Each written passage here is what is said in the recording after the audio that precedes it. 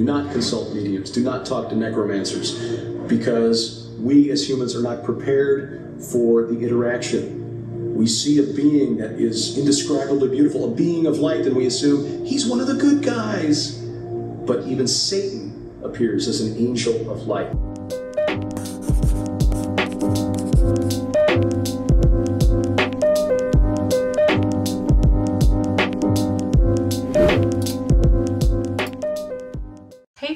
Welcome back to my YouTube channel. I pray you are all blessed. All glory to Yahuah. As you can see in the title today, I wanted to just speak about some of the deception when it comes to like good and bad spirits, ghosts, um, and demons, because I think this is something that's really, really important because the deception is incredible and I fell into the trap for quite a long time, and I really hope and pray that that doesn't happen to other people, and also just to kind of share my experiences with that but yeah, so if you are interested in hearing more, keep listening. So in the New Age movement, particularly like spir- um, spirituality, and even when you watch like paranormal activity type programs or people that do like, you know, like ghost hunting, para- paranormal activity type stuff, you see a lot of people speak about. And again, I can't speak for everyone because people have slightly different beliefs within within certain things that people follow. But you see a lot of people, and I used to do this as well, speak about like good and bad spirits um, and like ghosts and when I came to when I came out of deception, praise Yah for pulling me out of that. I started to realize that this this really wasn't a thing, and that I was under quite a lot of deception, and things are quite sneaky. Um, and I realized that they were just demons. There was no such thing as like good and bad spirits. And I just really wanted to go into that a little bit more. Again, I really pray that this helps some people. This isn't to like unrighteously judge people in any type of way. Like I said, I followed and fell into this trap for like eight to ten years. I believe the same thing, and I it's totally understandable because it's a great trap that's been set up by um, by Satan. And I just wanted to explain a little bit more about um, the difference between the two and how I came out of that deception. So, like I said, I used to believe in like good and bad spirits, and you hear a lot of people that deal with paranormal activity stuff say the same thing. Oh, some are good, some are bad, and I always say there's no such thing. I think the most important thing to understand is Scripture talks about Lucifer, Satan, being um, an angel of light, and very, very deceptive. And I always think of it: if you're going to deceive someone, if you really want to deceive someone deeply, especially for a long time, you're not going to come all out with the evil right in their face. It's much easier to reel people in and manipulate them when you're acting like you're all nice and whatever, when secretly you've got another agenda. And this is basically what these demons are doing, um, because they they they understand the human nature, so that they know our weaknesses. They're, that's how they're able to tempt, you know. Um, and we show them them obviously a lot of the time because they can't read our minds.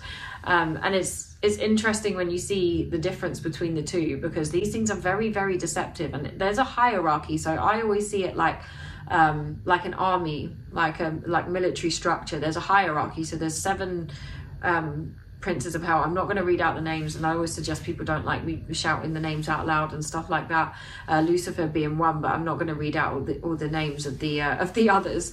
Um, and then there's obviously ones that are below. There is a hierarchy. Now I've studied a little bit. and I want to do a lot more, but I've watched some um, people that are experted in like demonology and, and study this, and it's really really interesting when you when you listen to some of the lectures and you and you start to study a little bit about demonology because it does add up with what obviously is said biblically and you start to realize that these things are these things are deceptive. Um, they absolutely hate us because whether people know it or not we are made in the image of god and these things want to drag us to hell with them because they know exactly where they're going. We get repentance obviously. So they hate us. They don't have that. They know where they're going and they want to drag us down with them and this is why they will do anything to deceive us. And a lot of people have these things in their I always think I don't know how people just have these things in their house but I don't think people equate a lot of bad things happening into their lives from opening spiritual doors because when we do things that open spiritual doors through sin or through doing like you know certain white or black magic or you know certain stuff to do with demons whatever it is that we're doing. Sometimes we don't understand that some of these some of bad things that happen within our life or you know for example like illnesses or certain things going on in our personal life can be down to the fact that we're opening these spiritual doors. Um, and it's not to say that it's like direct it's not it's not directly blaming it on yourself or anything like that but it's understanding that these things have an influence. I always say to people sometimes it's it's not um it's not thoughts you're hearing it's voices you know and and sometimes these things are trying to physically tempt us you know there's voices within our ear there's temptations being put there's situations being put in front of us you know the devil is the tempter. And this is how they're, they're able to deceive us. A lot of people that deal with the demon world or take psychedelics and end up dealing with the the demonic the, the spiritual world um, because we're not told to do this biblically so it's not a thing that's of god. So again you're only connecting with things that aren't of god when you're doing these type of things. And when people connect with these demons a lot of the time they'll say oh it was all lovely and i i saw these alien figures and there was colors and and and this is why you understand that, that and sometimes people say oh no i had a bad you know and i saw awful things and there's times where the devil and these demons aren't going to show them who show themselves for who they really are because they're trying to deceive us. And the best way to do that sometimes is to make it seem like it's something it's not. Like i said these things aren't completely stupid um, and this is why we need christ obviously because these things don't tremble at anything but the name of yahushua jesus christ they're probably laughing at us when we're going around trying to like sage the air bring all these crystals and do all these type of protection things and all this crap these demons are laughing and a lot of the time, when you see people doing these type of, type of things, their demonic activity doesn't stop. There may be times where the demons are smart enough to move slightly differently because they don't want it to get to a point where someone's going to call on Christ to rid them because they don't want to be rid. Whether that's they're just within you know there's an attachment or whether there's an actual possession. These things don't want to don't want to go. And you can tell that when there was the story um, where yahusha did an exorcism when he when he took a demon out of somebody and the demons were screaming like, oh please just send me into the pigs. You know these things don't want to go. They really want to stay attached to you. That's why sometimes it's hard to get them out depending on the type of demon. You know these things are not they're not messing around. Do not consult mediums. Do not talk to necromancers because we as humans are not prepared for the interaction we see a being that is indescribably beautiful a being of light and we assume he's one of the good guys but even Satan appears as an angel of light. The demonic realm, the spirit realm, they really don't have anything to gain by scaring, literally scaring the hell out of us. They would rather lull us into a false sense of security. Amen, brother. The difference between fallen angels and demons is a simple one. Fallen angels can manifest corporeally. We read in the Bible a number of times where angels interact with humans and do physical things.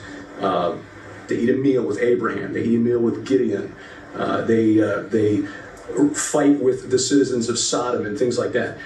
Angels can appear in physical form. They can actually do physical things too, because we read in Genesis chapter 6 about the angels who saw that the uh, human women were fair and chose wives, or perhaps just took wives.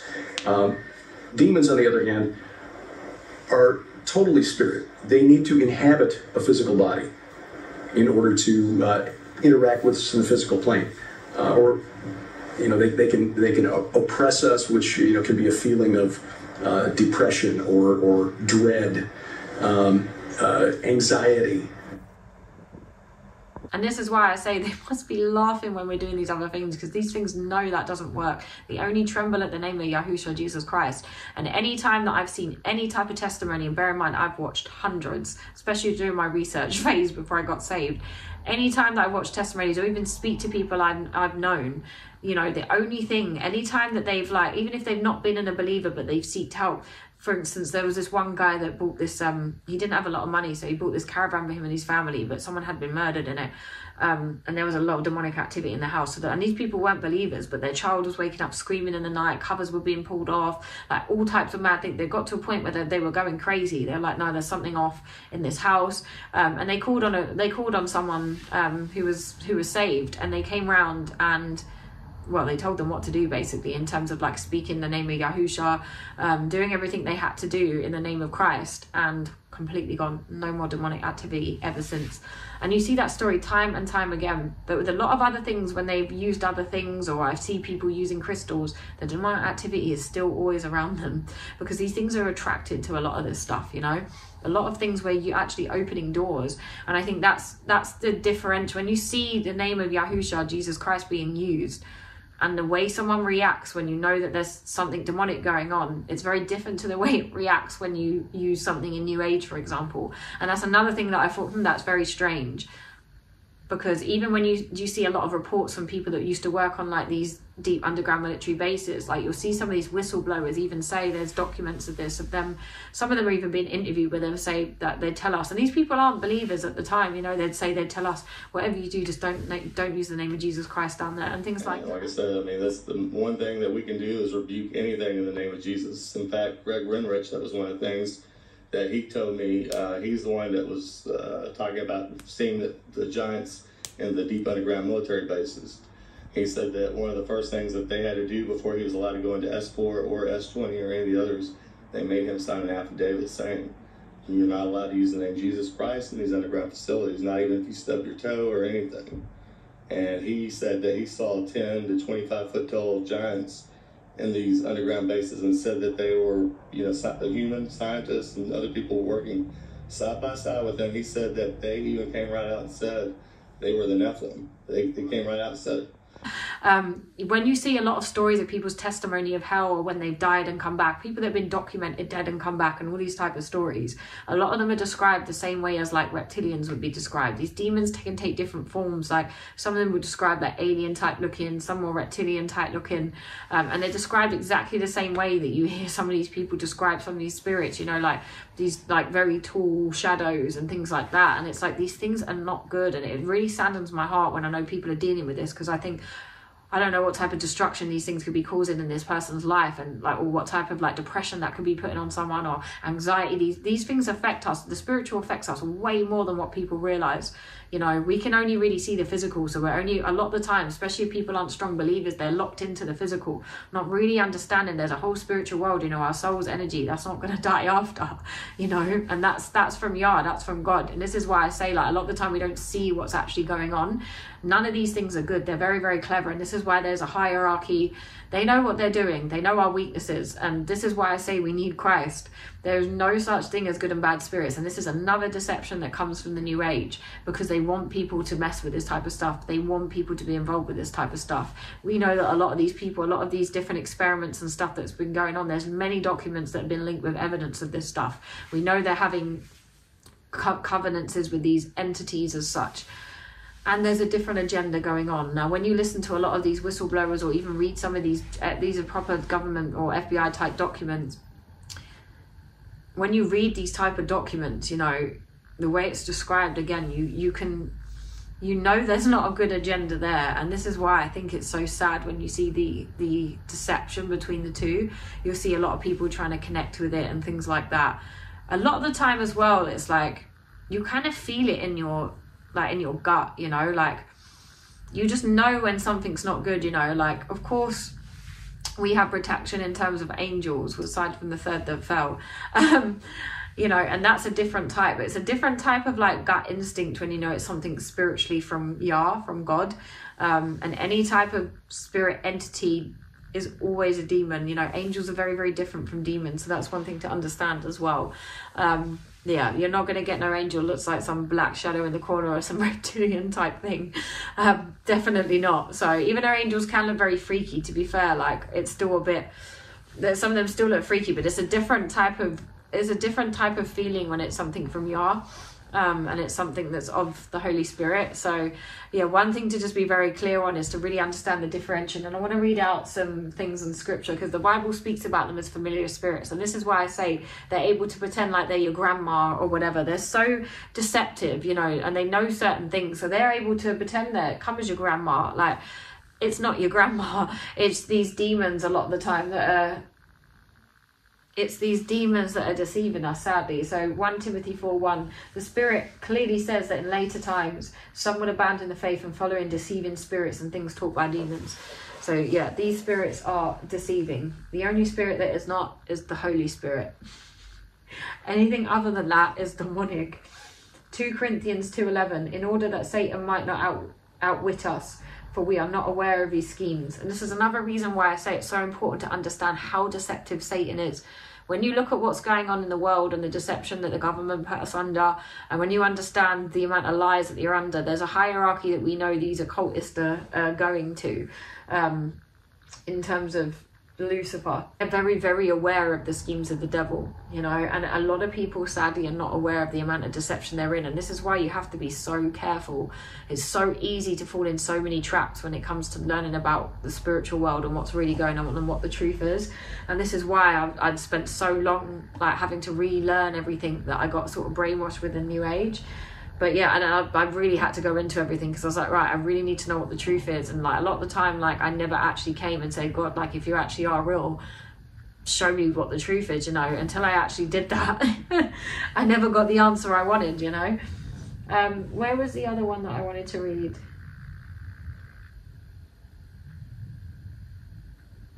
James 2.19, I like this verse. You believe that there is one God, good. Even the demons believe that and shudder. the next verse is Leviticus 19.31. Regard not them have familiar spirits, neither seek after wizard to be defiled by them. I am the Lord your God. And he says it, and he's so strong on us not messing with anything like that because of the fact that he knows the deception and the destruction these things will cause on us and God would hate to see that happen to us because he loves us. Isaiah 8:19 And when they shall say unto you seek unto them that have familiar spirits and unto wizards that peep and that mutter should not a people seek unto their God for the living to the dead? Again warning us not to seek these type of things. Isaiah 19:3 And the spirit of Egypt shall fail in the midst thereof and I will destroy the counsel thereof. And they shall seek the idols and the and to the charmers and to them that have familiar spirits and to the wizards Again, another verse talking about familiar spirits, Leviticus 26. And the soul that turneth after such as have familiar spirits and after wizards to go to a, to go a whoring after them, I will even set my face against that soul and will cut him off amongst these people because it's a very serious sin to be messing with this type of stuff because of the destruction it causes. So the Bible will often speak about these things as familiar spirits, and it's fitting in terms of how they can make themselves so familiar and pretend to be like a family member that's passed or something like that. These things are sick. And this is why it's like if you're getting any of that type of activity in your house, you need to see Christ to get that out because there is nothing else that is going to work to rid any of that stuff like I said, a lot of it is like putting a band aid over something that's never going to heal. You know, it's like getting bitten by a shark and just putting a band aid on it. It's not going to work. The demon might have to move differently for a bit if it thinks you're going to maybe seek something more to try and rid it. But a lot of the time, if people don't believe in good and bad spirits and think these things are helping them, then unfortunately it means that these things stay around which is obviously what they want um, understanding that they're we're not supposed to be connected like that when it, there's not supposed to be a crossover like that in terms of us mixing with the spiritual in that type of way you know? And this is the problem because when we're going after it seeking after it ourselves we're not going to god. You know there's different when we go to god and when we ask for help or we ask for guidance and we ask for things you know? If we're going off our own back and trying to seek all these different practices that we're learning from man um, you know because a lot of people that believe in these spiritual things have read things that are written by man and things like that. If we're going after all these type of things we're going to be deceived you know, we need to go off the one true God because that's the only way we're going to avoid this deception. And people have to understand, like, when you really study demonology and study the hierarchy, you understand how deceptive these things can be. And this is why I say to people, don't just fall for things straight away, like, be on guard. because the deception is real, especially in the days that we're living today. The deception is real, and the devil is ramping things up, and these demons are going to be out in force. And this is why I say to people, you know, understand, like when you never study demonology without like covering yourself with the blood of Christ, first of all, because you don't want to be getting wrapped up into anything, and also you don't want to be wrapped up in deception. You want to make sure what you're learning is the truth and it's not more deception. But this is why I say we're we're in the time where there's so much information. It speaks about this in the Bible. There's so much information that people are actually not knowledgeable anymore. what I'm saying? Because there's like such a wealth of information. There's so much crap out there as well. You know, th- there's not actually true wisdom anymore. And this is, we need to get that from Yah. And this is why I always say to people, just really make sure if you're falling straight into believing this good and bad spirits and, you know, like trying to, you know, use mediums to get rid of all these kind of things you're making the problem worse. Um, and it's, it's you're just going round in a cycle and sometimes it can like i said it can be connected that things are going on. Don't let that thing drain you. Don't let that thing get the better of you because these things are not stupid and they count on us not understanding. Like and this is why i say like they sometimes the devil has a better understanding of a lot of people of what's going on in terms of like the bible and stuff like that. But it's so important that just I'm not saying believe me straight away, but I'm also saying just don't fall straight into it. Understand these things are like the spiritual world is way beyond. Like in our flesh, we can't even fully fathom it. So that's we have to humble ourselves and understand that. I had to humble myself when I understood that I was wrong as well. But we have to humble ourselves and understand that it's much bigger than us. You know, the spiritual world is much more than what our little human brains can even fathom.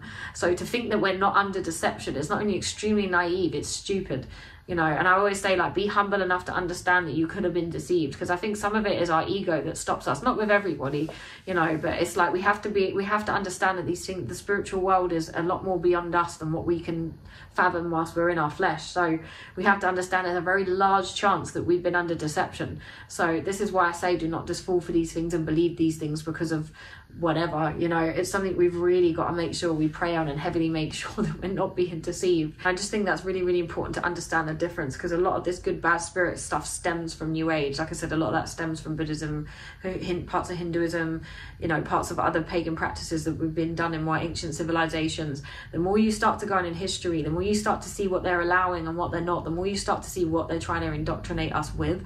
And the way they're like turning old wine into new wine and changing all the phases like i said thought concentration to law of attraction to get people to buy into it. The way they allow all these posts to go up and people having millions of followers but not other stuff. The way they'll put it on Netflix, like, and that's just the tip of the iceberg. You know, the, the deeper I researched into the occult, like, and I don't suggest people reading this book unless you're saved and you and you're covered by Christ. But when you read like the Satanic Bible, when you read books by um, people like Aleister Crowley and and these kind of people like you understand how it is literally describing new age practices. There's another book as well I highly recommend highly recommend. In fact i'm going to leave the link below. There's a video by this lady it's called hidden colors and she really goes into the depth of how she believes the new age movement is literally i think one she said it was ushering in the antichrist and two she related it I can't remember. I think she related it to something quite deep.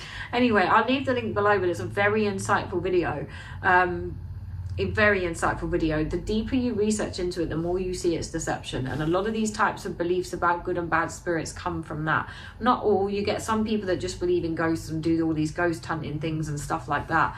But it's yeah, it's a worry because you think you don't know what is attaching to these people. Even when you watch certain shows like Derren Brown, and you can see you can literally see him attaching demons to people like it's mad.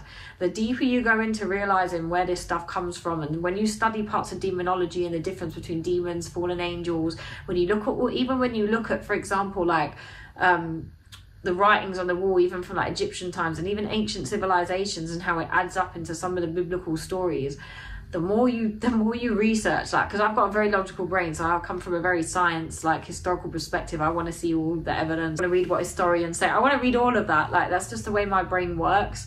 And it's just so interesting when you see the amount of deception they're trying to put people under. And this is why i say always make sure we're testing the spirit. Always.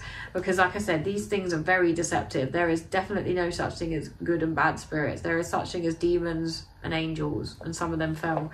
And that's about it. Even when we're going back and looking at the sun gods and depicting that to fallen angels and what the fallen angels taught man, and you can read that in some of the Book of Enoch one, is very you can see the connection. And this is the more you see that, the more you start to realize that this good bad spirit thing is complete deception. And I really hope and pray that people look into this a little bit more. Like, don't have to believe me. I'm just saying to people, ask God to show you the truth. Look into this stuff. Don't be deceived by going to these things, especially if you're saved. That's the last thing we want to be doing. But yeah, I say that to everybody, and I say that out of love because I don't want people to be fooled. Because I know how, how I know how much these things hate us, and I know how much deception they want to cause, and I know what these occultists that follow this that have a lot of influence over this physical world that we're in you can just see the agenda they're trying to pull through this. So yeah i really really hope and pray that more people come out of this deception. Um, the only way to rid anything like that that's in your house is to use the name of christ is to use jesus. That is the only thing that is going to work. That's the only thing that makes these demons tremble which is why a lot of the time they go against it. But yeah, I hope you enjoyed this video, guys, and I, um, I hope to see you in my next video. All glory to Yahuah. Bye.